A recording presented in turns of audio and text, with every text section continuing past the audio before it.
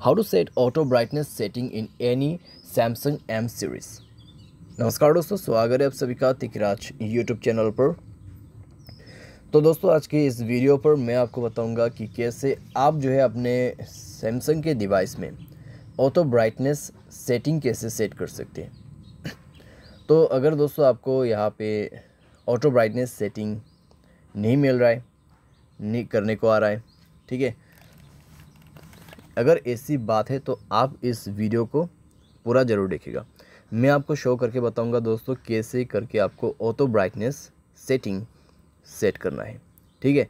Video शुरू करने से पहले दोस्तों अगर आपने चैनल को सब्सक्राइब नहीं किया है तो सब्सक्राइब करते हुए बेल आइकन को क्लिक करें और अगर आप ऑनलाइन पैसा कमाना चाहते हैं तो वीडियो डिस्क्रिप्शन पर उसका लिंक आपको मिल जाएगा।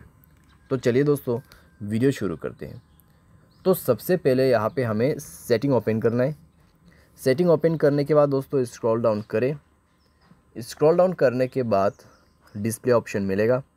और ये है दोस्तों एडेप्टिव ब्राइटनेस यानी कि आपका ऑटो ब्राइटनेस आप देख सकते हैं, आपके जो अभी प्रेजेंट लोकेशन है, ठीक है, आप घर के अंदर पे है या फिर बाहर में है, उसके हिसाब से दोस्तों ये अपना ब्राइटनेस चेंज करेगा। ठीक है अगर आप थोड़ा सा लाइट में लेके जाते हैं तो इसका ब्राइटनेस इंक्रीज़ होगा, क्योंकि दोस्तों लाइट में थोड़ा सा हमें ब्राइटनेस चाहिए होते हैं। अगर आप डार्क में जाते हैं तो हमें ब्राइटनेस नहीं चाहिए तो ये कम्प्लीटली डार्क हो जाएगा। ठीक है?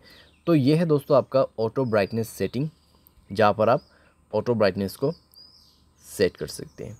ठीक है? अगर आप यूज़ करते हैं तो ये सेटिंग को इनेबल कर लीजिए। अच्छे से आपका सेटिंग रन करते रहेगा।